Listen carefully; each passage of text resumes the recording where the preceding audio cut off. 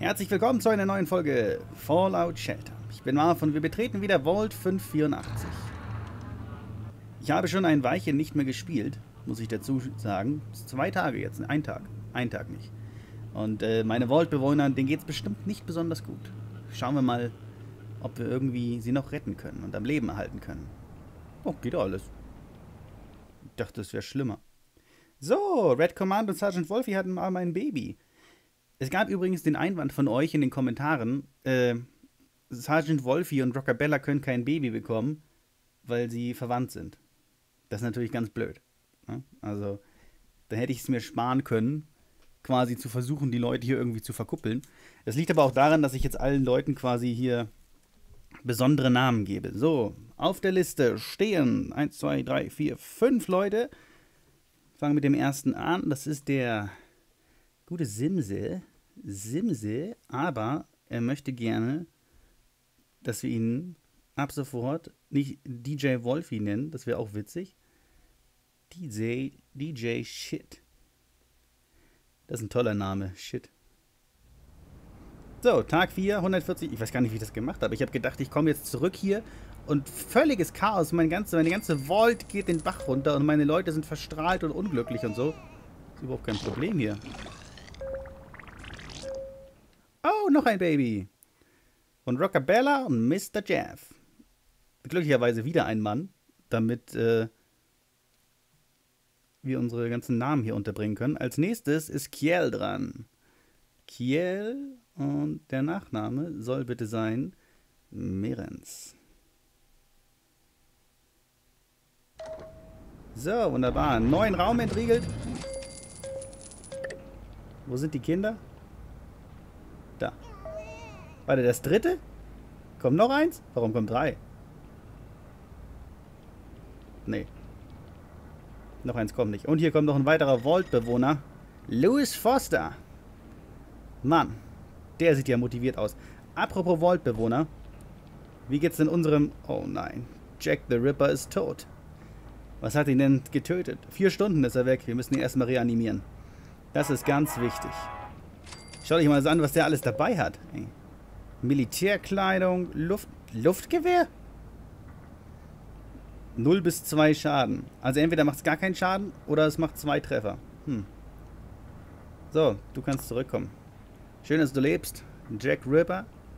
Unterwegs gewesen. Er ist quasi schon gleich Level 2. Ah, sieht schon nicht schlecht aus. Aber wir haben jetzt auf jeden Fall ein Luftgewehr, dann haben wir ein verbessertes Repetiergewehr, eine Militärkleidung und eine Kampfrüstung. Die ist besonders gut für die nächsten Leute, die jetzt quasi ins Ödland gehen. Aber der, wie lange braucht er jetzt zurück? Zwei Stunden, 14 Minuten. Oh Mann. Schauen wir mal, ob der überhaupt bis zur nächsten Folge da ist. Jetzt in Lunchboxen. Ein neuer legendärer Bewohner. Preston Garvey aus Fallout 4. Mit der Lasermuskete. Nice. Apropos Lunchboxen, ich habe doch eine. Dann schauen wir doch mal, ob wir ihn dabei haben. Und... Oh Leute, es ist spannend. In der letzten Folge eine schöne Lunchbox bekommen und jetzt geht es hier wieder los an Karten entdecken. Und hinter der ersten Karte versteckt sich... Grundgurken. Wow. Druckluftflammenwerfer. 15 bis 19 Schaden. Das ist ja ein geiles Ding. Wow, so, letzte Karte, Leute. Oh, jetzt geht's los. Ich, ich, ich weiß gar nicht, ob ich raufdrücken soll. Drückt uns die Daumen. Es ist ein Stimpack. Es war nicht die letzte Karte. Jetzt aber. Yay, Zachary Jackson. Geil mit den, mit den Spock-Ohren, ey. Sieht aus wie Zachary, äh, wie heißt der, Quinton? Quinzo? Quinton? Der Typ, der Spock gespielt hat im neuen Star Trek-Film. Alter, was hat denn der für Werte? Das ist ja ein Tier. Boah. Unglaublich. So, jetzt muss ich erstmal gucken, ob ich alle Leute hier irgendwo unterbringe. Gar nicht genug, gar nicht genug Platz. So. Der ist Stufe 9. Was hat denn der an? Achso, ich kann es noch nicht sehen. Also er ist besonders stark. Als besonders starker kann ich ihn in einem Stromlabor einsetzen. Das würde sehr viel bringen. Da kann ich denn da einen rausnehmen, der nicht so wirklich stark ist. So, schauen wir mal hier rein. Du bist special. Du bist noch mehr special. Ich weiß, du bist oberspecial. Und du hast überhaupt keine Ahnung. Red Command, ab in die Küche. Oh, minus eins. Dann gehen wir in die Baracke. Also ich finde schon eine andere Möglichkeit hier Red Command gut einzusetzen. Raum entriegelt. 26 Bewohner. So, wo kommst denn du hin? Du könntest besonders gut in der Küche arbeiten, Louis. Aber bevor Louis in die Küche geht, soll er erstmal Red Command kennenlernen. Die beiden werden sich bestimmt sehr sympathisch sein. Ich meine, er hat diese unglaublich attraktiven Ohren und sie hat gerade etwas Zeit. Achso, ich habe den Falschen gesehen. Er hat eine heiße Frisur auf jeden Fall. So eine tolle. Und schon haben sie sich kennengelernt. Oh, du bist die hübscheste Person, die ich kenne. Ich muss das höher sprechen. Du bist die hübscheste Person, die ich kenne. Baby, das kann ich auch zu dir sagen. Wirklich? Ja, Baby. Du bist auch die hübscheste zu also, ne? Wollen wir vielleicht tanzen? Tanzen? Ja, tanzen, Baby. Ich kann mich so im Kreis drehen so ein bisschen und dann so mit dem Hintern wackeln. Hintern? ja, mit dem Hintern. Wie wär's, wenn du mal mit dem Hintern wackelst? Mit meinem Hintern? Ja, mit deinem Hintern. Aber ohne dich wäre ich einsam. Ja, ich auch. oh Mann. Diese tiefgründigen Gespräche. So, also, ich brauche... Was habe ich denn? Wo habe ich denn? Wie habe ich denn? Was brauche ich denn? Einen Raum. Nein. Einen Raum, den ich bauen kann. Ich habe nämlich was freigeschaltet. Denn wir haben... Oh, sogar zwei. Trainingsraum und Sportraum. Sehr cool. Beweglichkeit verbessern oder Stärke? Dann nehmen wir gleich mal beides, ne? Zack, zack. So, Beweglichkeit oder Stärke. Dann tue ich den dahin, den einen Sportraum. Dann baue ich hier oben noch einen zweiten. Ne, warte. Was ist denn das jetzt? Das ist der Sportraum oder der Trainingsraum? Trainingsraum. Ja, siehst du? Gut, dass ich nachgeguckt habe. Und jetzt hier... Da brauche ich noch so ein anderes Ding. Eigentlich müsste ich jetzt hier nämlich noch eine weitere, eine weitere Krankenstation bauen, weil ich brauche immer Stimpaks. Immer. Immer. Das reicht gerade so. Wenn ich jetzt noch die Krankenstation dahin setze. So. Und dann in den Sportraum läuft's. Habe ich bald ein kleines Energieproblem. Aber das kriege ich, glaube ich, früher oder später auch wieder in den Griff. Heißt für uns aber, wir brauchen wieder mehr Vault-Bewohner, weil wir jetzt halt schon so viele äh, weitere Räume haben, die bedient werden müssen. Und was ist, wenn jetzt ein... Oh mein Gott! Feueralarm! Feueralarm! Schnell, Feuerlöscher! Oh Gott, wo brennt es? Nein, es sind Red-Kakerlaken! Hier, Lauren, Lauren, hier, nimm den Flammenwerfer. Ja, Lauren grillt die Kakerlaken. Heute Abend gibt's Fleisch, Leute. Fleisch auf dem Plan. Lauren, lauf die Kakerlaken nach. Nicht das Sofa anzünden. Warum auch immer das jetzt geklappt hat. Lauren, ich hoffe, du reparierst das Sofa. So, dann nehmen wir dir hier das, Ding, das Ding mal wieder weg. Sehr gut. Ja, danke. Schön, dass dir das gefällt. Als Katze würde ich alleine sieben Leben mit dir verbringen. Und als Mensch steige ich mit dir in die Kiste. Also, das vertone ich jetzt nicht, wie die beiden da jetzt zugange sind. Das könnt ihr jetzt gerne so live vor dem Bildschirm machen. Und quasi nachträglich die beiden da oben hier beim äh, glücklichen Abenteuer. Ne? Also, ihnen helfen. So, Louis. Louis, Louis. Und wen haben wir hier? Lisa Newman. Kann ich eine Schwangere in den Wachdienst beordern?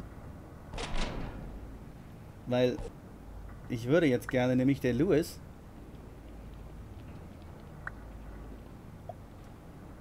Nein, Louis, du musst da bleiben.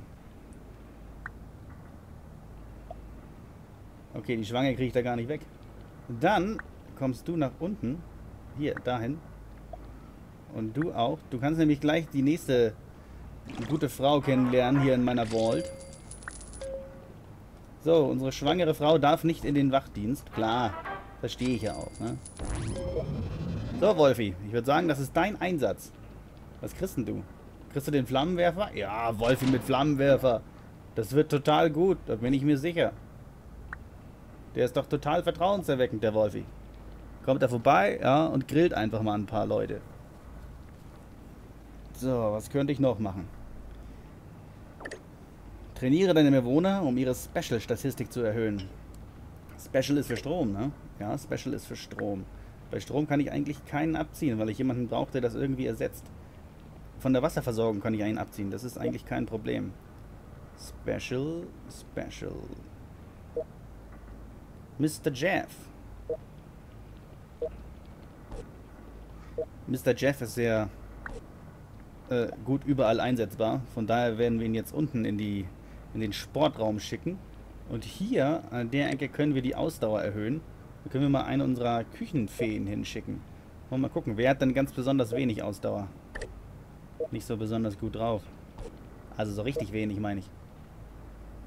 Grace. Oh, die geht richtig ab. Ashley. Ashley schmeißt den Laden hier, Leute. Also wir haben Grace mit ganz wenig. Achso, weil man kann sogar sehen. Hier, Grace mit Warum ist denn jetzt A Beweglichkeit? Achso, doch, ist ja richtig. Völlig richtig. Mann, pass mal auf hier. Was ist denn das?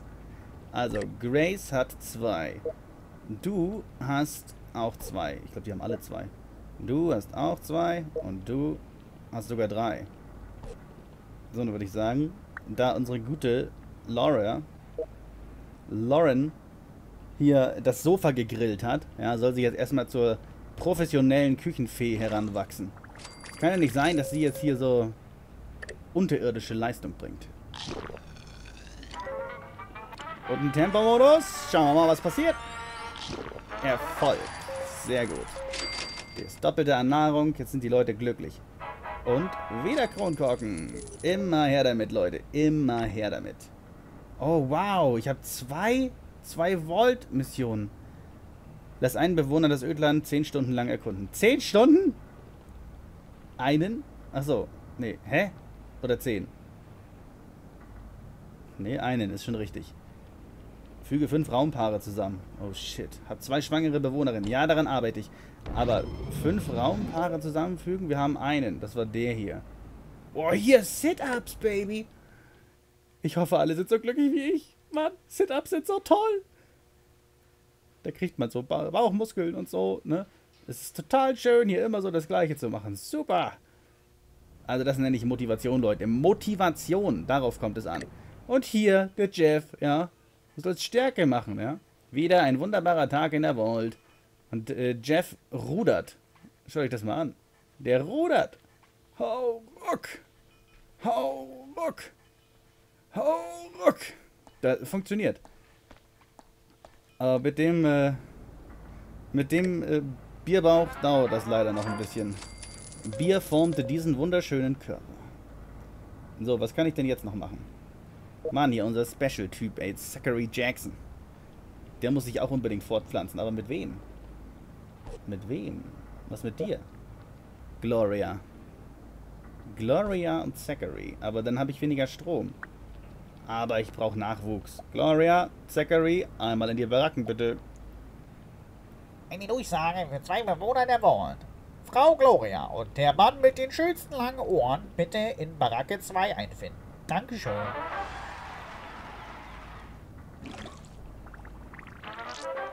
Oh, ich verbringe unheimlich gern Zeit mit dir. Und unser neuer Louis. Der geht aber jetzt ran hier. Na, wir wollen da auch nicht zuschauen. Das muss nicht sein. So, hier, bevor dir langweilig ist, kannst du hier ein bisschen arbeiten, Mädchen. Es muss nicht sein, dass du nichts tust. Und hier immer noch irgendwie am Sit-Ups machen. Yeah, zweimal schwangere Bewohner. Cool. So, dann kannst du einfach mal hier reingehen. Ob das so viel bringt. Du bist besonders gut in der Wasserverarbeitung. Dann musst du in die Wasserverarbeitung. Und du gehst dann mal dahin. Weil du bist auf jeden Fall special. Ja? Stärke 2, das funktioniert. Stell dich genau, am besten genau hinter den Generator. Genau, Lisa. Das be der beste Platz im ganzen Raum. Direkt hinter der Strahlungsquelle. Ich meine, es ist doch, gibt doch nichts Besseres. Da kriegt das Kind dann drei Arme und vier Augen, aber egal. Ja, drei Arme sind besser als zwei, weil die können dann mehr arbeiten. Oh, hier, Red Kakerlaken-Alarm. Alarm, Alarm, Alarm, abschießen. Wo ist der Sicherheitschef, wenn man ihn mal braucht? Sergeant Wolfi. Sträflich ihre Aufgabe vernachlässigt hier.